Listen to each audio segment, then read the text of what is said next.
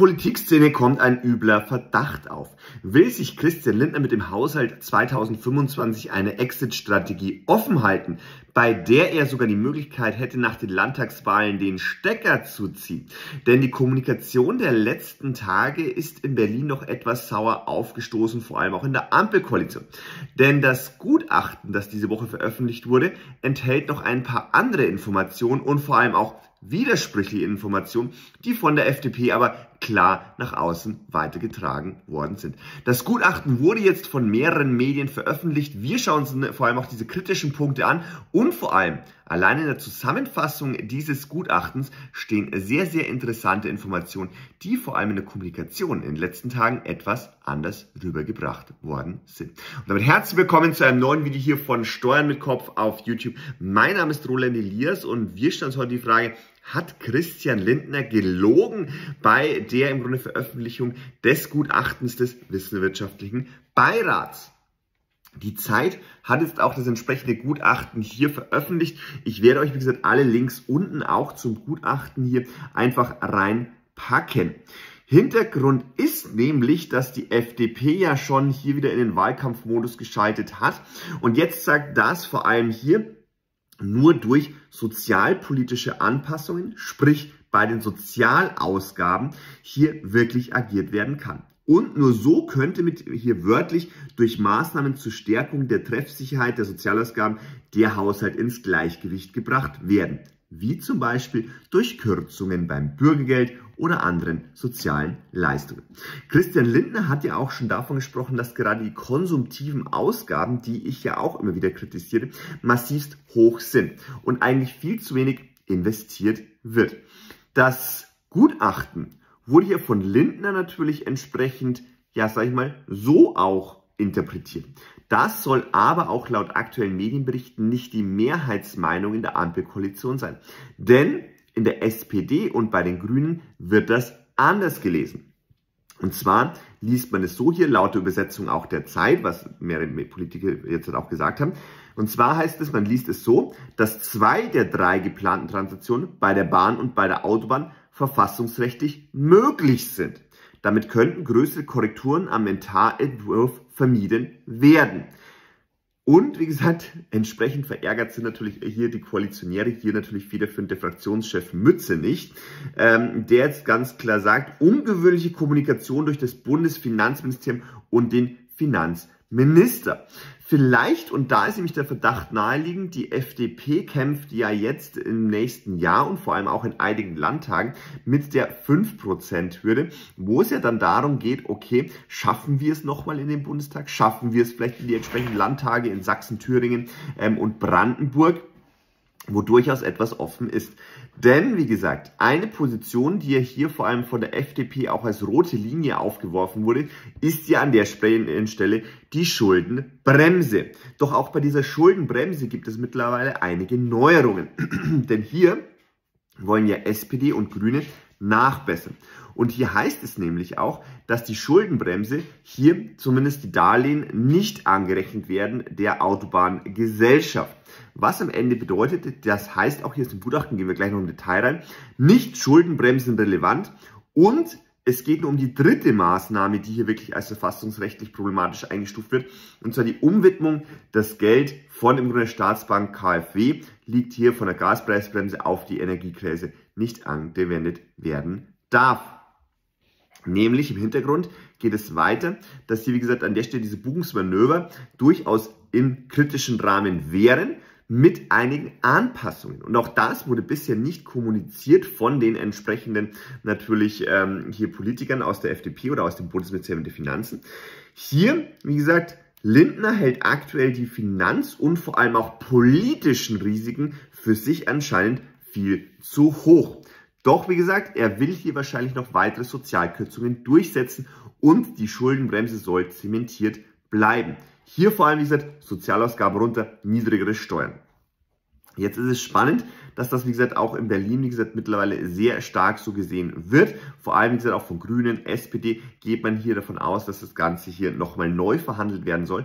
Und zwar nach entsprechend den Landtagswahlen in diesem Jahr. Warum?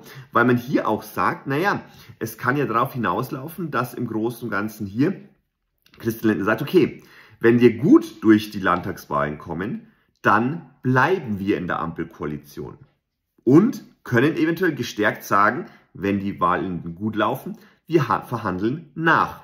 Wenn im Großen und Ganzen die Wahlen schlecht laufen sollten, könnte hier im November wird das aktuell angesehen, hier Christian Lindner den Stecker ziehen. Und jetzt gehen wir mal hier direkt ins Detail rein. Und zwar diese Absätze, die letzten, die letzten drei Absätze zu den drei großen Fragen.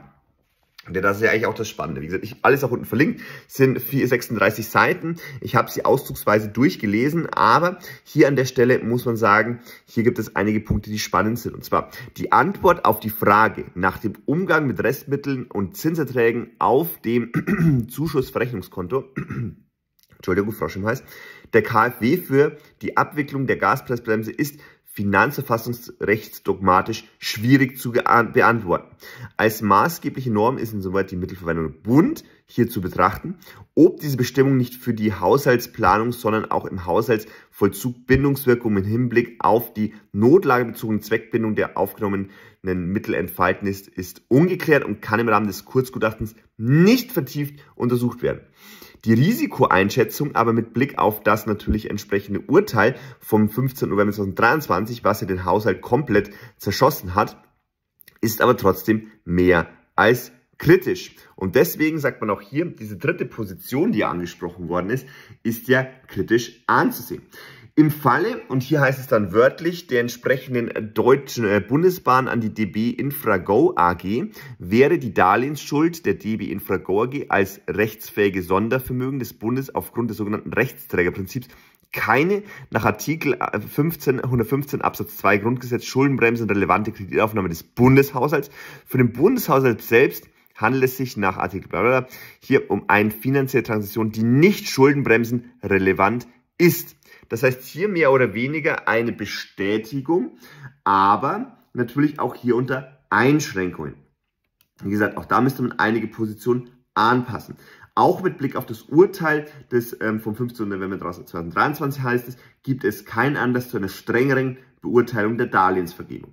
Jetzt ist aber auch so hier die Gewährung, das nochmal hier direkt vorgelesen, die Gewährung eines Darlehens des Bundes an die Autobahn GmbH setzt unter Umständen, dies zu klären, ist nicht die Aufgabe des vorliegenden finanzrechtlichen Kurzgutachtens, eine Änderung Paragraph 7 Absatz 1 Infragirge voraus, um der Autobahn GmbH die Aufnahme eines solchen Darlehens zu gestatten.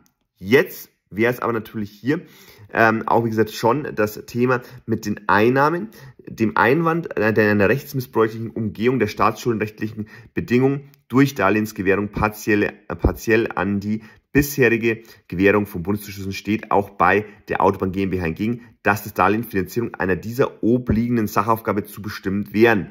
Hier ähm, natürlich der Punkt, es ist nicht unerheblich, es ist ein nicht unerhebliches, äh, ein nicht unerhebliches Risiko, äh, rechtliches Risiko folgt jedoch aus dem Umstand, dass die Autobahn hier über keine originären Einnahmen verfügt, sondern ausschließlich über die Bundeszuschüsse finanziert wird. Das heißt im Großen und Ganzen, hier muss man ganz klar sagen, gibt es Bedenken, die natürlich jetzt, wie gesagt, bei der entsprechenden KfW-Angelegenheit hier komplett im Raum stehen. Da muss man sagen, das könnte Ihnen auf die Füße fallen. Das mit der Bahn wäre kein großes Problem, so beziehen wir es zumindest daraus, weil die Bahn selbst Einnahmen hätte, diese selbst tilgen könnte.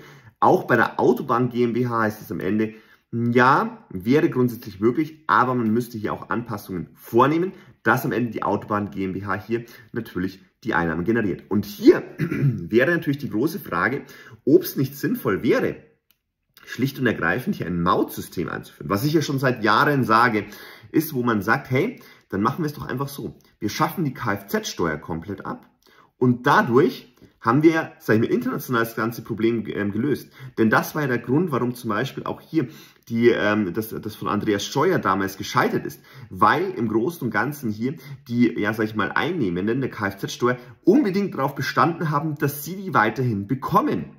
Das war der einzige Punkt. Hätte man damals im Großen und Ganzen hier die Kfz-Steuer sofort abgeschafft und durch ein Mautsystem, wie es in Österreich, Tschechien, wo ich vor ein paar Monaten wieder war, ähm, stattfindet, dann hättest du kein Problem gehabt. Nur diese doppelte Thematik Kfz-Steuer plus Pkw-Maut war kritisch, weil man hier ja die Leute entlasten wollte.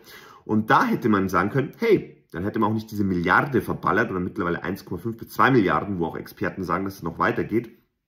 Dass man hier ganz klar sagt, hey, hätte man sich diese 2 Milliarden als Beispiel sparen können und hätte dadurch einfach Einnahmen generieren können. Denn die Lkw-Maut funktioniert und diese könnte man jetzt auch hier als Einnahme auf die Autobahn GmbH übertragen. Bedeutet, die Autobahn GmbH hat an dieser Stelle dann die laufenden Einnahmen aus den entsprechenden äh, Themen. Und dann haben wir nur ein Problem. Diese Einnahmen wären natürlich am Ende zweckgebunden. Denn die Autobahn GmbH müsste dann hier an dieser Stelle auch laufend diese Sanierungen der Autobahnen durchführen. Was bedeutet, man kann diese Mautthemen nicht so im Grunde verwenden, wie man will, wie man es bisher gemacht hat, sondern man müsste es wirklich hier investieren. Und das würde am Ende aber dazu führen, dass wir hier eine super tolle Infrastruktur hätten, lediglich man aber auf der anderen Seite sich die ein oder anderen im Grunde Sozialprojekte und sonstigen Wünsche nicht mehr erfüllen können. So wie es eben auch in anderen Ländern ist, dann sagt, hey, Autobahnmaut, zum Beispiel Pkw, Lkw-Maut zusammengefasst auf die GmbH und natürlich diese GmbH hat an dieser Stelle natürlich dann diese Einnahmen. Damit wären auch viele infrastrukturelle Probleme auf Autobahnen gelöst und vor allem auch der Ausbau, Umbau und sonstiges würde tendenziell auch schneller funktionieren, wenn man hier auch wirklich das Ganze privatrechtlich, wirtschaftlich komplett durchziehen würde. Nicht so wie bei der Deutschen Bundesbahn, ähm, wo es dann am Ende heißt, ja, mh, hm, äh, die machen wir doch nicht, da gibt es wieder einen Zuschuss, da gibt es einen Zuschuss. Und da müsste man halt einfach auch als Gesellschafter der entsprechenden Gesellschaften durchgreifen. Übrigens, ja, wir sind eigentlich Gesellschafter der Deutschen Bahn AG. Also sollte man auch ganz klar sagen, ja, vielleicht mal ein bisschen sparsamer sein und nicht jedes Mal im Grunde auf die im Grunde auch, sage ich mal, Forderungen der Gewerkschaften eingehen, die vor allem auch da natürlich die Arbeitnehmer der entsprechenden, sage ich mal, ja, GDL und sonstiges hier ausnehmen, um sich damit ein schönes Leben zu machen, wie Herr Weselski. Aber am Ende ist es hier ein spannendes Thema. Auch der Haushalt 2025 wird kritisch weiterhin beäugt, auch von uns, wo man ganz klar sagen kann, Risikos sind gegeben. Wie gesagt, am Ende muss man auch wissen, hier politisch von Lindner könnte er sich eine Exit-Strategie zurechtlegen. Andererseits muss man auch sagen, es ist die große Frage, wie es am Ende hier natürlich ablaufen wird, denn das ist nur ein Gutachten, keine Beurteilung des Bundesverfassungsgerichtes.